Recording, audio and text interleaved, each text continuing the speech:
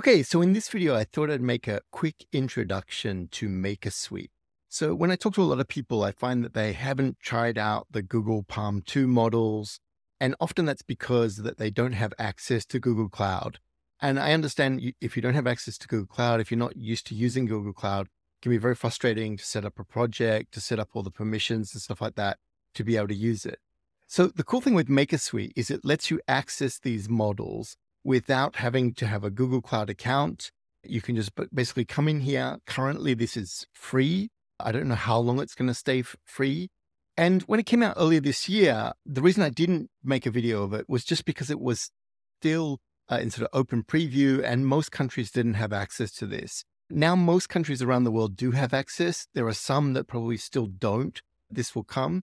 But this is going to be where you get to try out using large language models from Google. Uh, and if you wanted to use them in a project or something, you can get an API key to actually do this. Now, eventually, I think this will become paid in some ways, but currently, for now, come along and try it out while it's here. So, while the models that are available at the moment are the Palm 2 models, you could imagine that in the not too distant future, this will be also a way that you can access the Gemini models in here. So let's jump in and actually have a look at MakerSuite. Okay, so this is what you are greeted with when you go to makersuite.google.com. You'll have to probably log in for this. And so just use your normal Google account is fine for this. And you've got three ways of working with the, the Palm API in here. So I can just come in here, start and make a text prompt. So the text prompt is just standard sort of LLM where I'm going to put something in and it's going to complete it. If I come in and I write the cat sat on the mat, I can come down here and I can run it and you'll see that it will basically do a continuation, right? So if I type in a prompt, you can see that it will come along and will do the continuation for this. And I can choose to either accept the response or I can reject the response, etc. in here. Now I'm using the Palm 2 text bison model here. So I can change the temperature on this. I can change the outputs. I can change the safety settings. If I want to adjust how much the model could be toxic or anything like that, I can play around with those in here as well. So this is sort of the first use of it. And they've got some nice examples in here. For example, here, if I go to summarize a paragraph, I can put in a paragraph of text. If I run this, it will basically write out the summarization for me here. So you can learn how to structure prompts. And one of the cool things is that they've got a whole prompt gallery that you can go and look at for different things like email writers, grammar extraction, a whole bunch of different tasks. And this is loosely based on, I think, what was a, a Google internal tool that allowed people to test these out for this kind of thing. But anyway, you can come in here, you can preview these things, you can see, okay, what it can actually do. And then you can basically just open it up in MakerSuite and try it out yourself. So the first example I showed you was a text prompt. There are two other ones. There's a chat one, which I think most people, if you've been playing around with language models, this is something that you've probably seen already. So you can basically input context, which is like a system prompt in here, and then you can put in some, you know, various user examples, and then you can continue the conversation. So you can see this conversation is actually using the memory of this, of what's gone in here. So it's all being packaged up and fed to the actual model.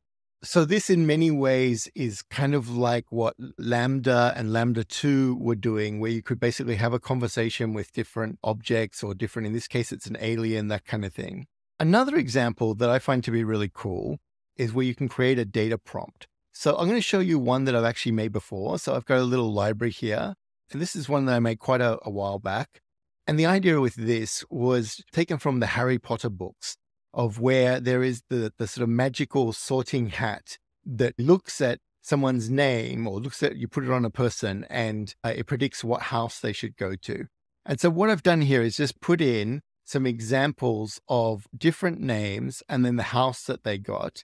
And then we can take anyone's name and we can stick it in here and we can run it. And you'll see that now we're using a data prompt where we've set up this input output examples. And now we're going to put in, you know, one input here, and then it's got to generate an output based on these ones here. So let, us see if I type in my name, what house do I get to? So if I come to this button here, we can just predict, and you can see that, okay, for me, it's predicted house Slytherin. So this can, kind of thing can be fun to play with. You can also use this for much more in-depth things. If you wanted to build like your own paraphrasing engine, you could come in and put like inputs of the, the text in and then output being the paraphrased version. And with not too many examples, you can get it to go through and actually run something. Now we can see down here, we've got our text window can go up to 8,000 tokens here, 8,196 tokens. We're only using 120 of these here. So there are a whole bunch of different prompts and stuff that you can do for this. Now, one of the key things that you'll often want to do is if you want to basically share something with someone or get code for it. So sharing with someone is quite simple. I can just click the share button and it will come up and I can then share it with someone and then they can see that in their Maker Suite. The other options I have are actually bringing up the code. So you can see the code, I can get it in JavaScript, I can get it in Python, or I can just open it up in a Colab. So if I open it up in a Colab, this will actually allow me to run it remotely. Now, it doesn't have to be Colab. This is not tied together, meaning that we're going to need some kind of API key. So let's go back and look at how you would get an API key. Okay, so if you're in Maker Suite, you just come down to the keys area. I'm not going to save that. You can come and get your API keys for this. So here I can make a, a new API key and it will basically make a new API key, which is unique to my account. And then I get the API key. You can see, obviously, I can kill all some of my other API keys, etc., as I go through this. Now I come back to the Google Colab that it gave me. I've now pasted in my API key. Once you install this Google Generative AI package, you actually need to restart the Colab. So that's one of the key things you want to do there. Okay, so now we can see the settings that we had before in the GUI interface, we've now actually got them in here. So we can basically pass this in. So we just set up our model with our prompt here. Now they have a function in here for converting the text to base 64, but you can see this is basically the same prompt as what we had here, where we've gone through, we've gotten up to uh, Yann LeCun, and we're going to predict for him. If we come down here and rerun that, we can see sure enough, it's going to output the result for here. So we could write a, a simple function here to take this in, take our text with this input, output, etc., put in someone's name, and then be able to generate the house for this. So if you haven't tried out the Palm APIs and you're interested in making some kind of app that pings an API uh, and you want to play around with it, you know, like I, I mentioned, currently this is available for free. People can try this out. My guess is at some point they will have some kind of fee structure or something like that. And I'm not sure how much you can hammer the API before you get stopped at the moment. But certainly it's worth trying out to just check out and see, okay, what can the Palm API do? Definitely the current Palm Bison. So if you remember, the Palm Bison model is not the full size Palm API.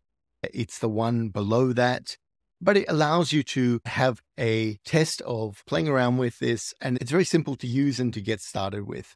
So check it out. As always, if you've got any questions, put them in the comments below. If you found this video useful, please click like and subscribe. I will talk to you in the next video. Bye for now.